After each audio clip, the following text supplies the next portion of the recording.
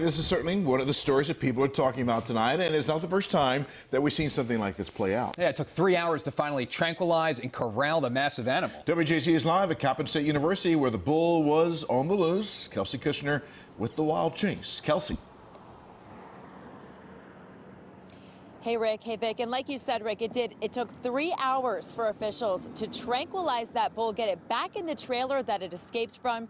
Many tonight still shocked at what they saw. Everything and anything happens on North Avenue, I tell you. it was a sight to see for neighbors in West Baltimore. Came out on my porch and I told my wife, I said, hey, I see a bull running up the street. When a bull wandered onto Coppin State University's campus Wednesday afternoon. I couldn't believe it. It was unbelievable. I thought he was joking. He said he's that serious. The owner says his farm manager was transporting the one and a half year old 1,600 pound purebred Angus bull to a farm in Frederick. It's a big guy. He's pretty big. When around 3 p.m., he somehow escaped its trailer. My farm manager was stopped at a red light. I think maybe on, I'm not sure, up by Mondawmin Mall maybe.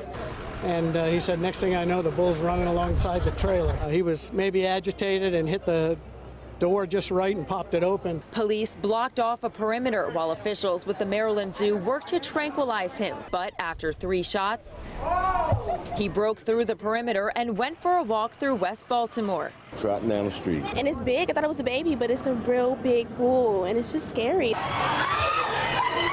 Hours later, the chase came to an end. The bull was heavily sedated and placed back in its trailer by a tow truck, an outcome his owner says he's grateful for. They could have shot that bull two hours ago and been done with it, but they knew for us it was an expensive breeding bull, and I just owe him a debt of gratitude because we could have turned out a lot different today.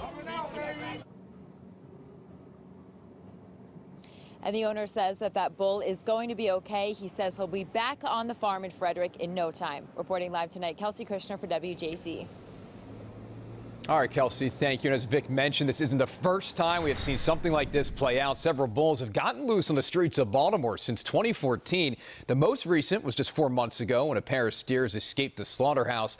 In 2016, two other bulls broke free from that same slaughterhouse and wandered into a grassy area of an apartment complex. Cars actually formed a makeshift barricade to keep them from wandering off into morning traffic. It took them three hours to corral them. And in 2014, another steer on the run. You may remember this one once again from the same same slaughterhouse. This time it was spotted running right in the middle of North Avenue.